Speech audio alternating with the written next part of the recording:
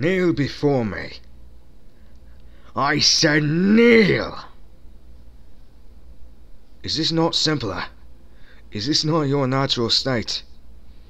It is the unspoken truth of humanity that you crave subjugation.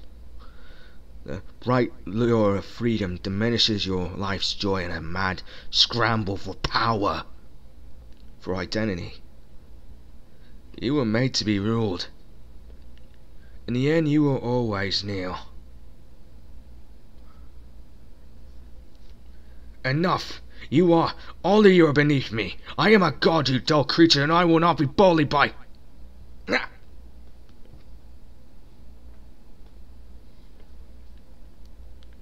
I remember a shadow, living in the shade of your greatness. I remember you tossing me into an abyss. I was, and should be king.